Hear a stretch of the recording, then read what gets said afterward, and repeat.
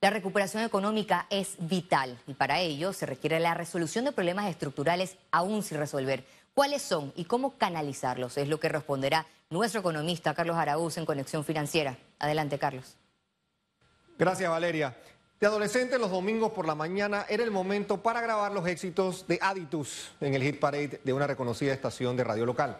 La lista de éxitos de esta banda de rock en español era interminable y me trajo a la realidad de lo que vivimos hoy. Un listado extenso, abrumador de problemas sin claras avenidas para llegar a soluciones de corto, mediano y largo plazo.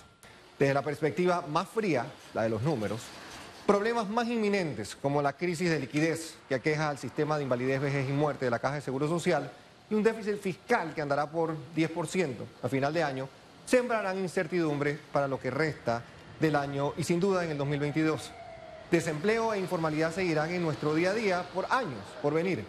La última vez que Panamá vivió desempleo arriba de 15% fue al final de la década de 1980. Y en ese momento pues tomó casi 11 años recuperar las plazas de empleo perdidas. Todo apunta hacia una recuperación mucho más rápida y no podemos perder el norte ni el enfoque. La devoción por crear plazas de empleo y salvar empresas debe imperar por encima de cualquier acción.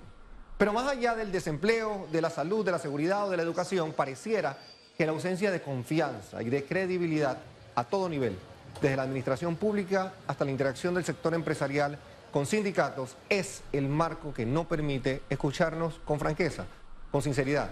Este puede ser un ejercicio que haga que renazca la esperanza y la fe en que un hit parade complejo de problemas encuentren soluciones en el futuro no muy lejano. El país anhela fe y más fuerza que nunca para llegar a creer y a confiar. Sin ello no habrá manera de salir adelante.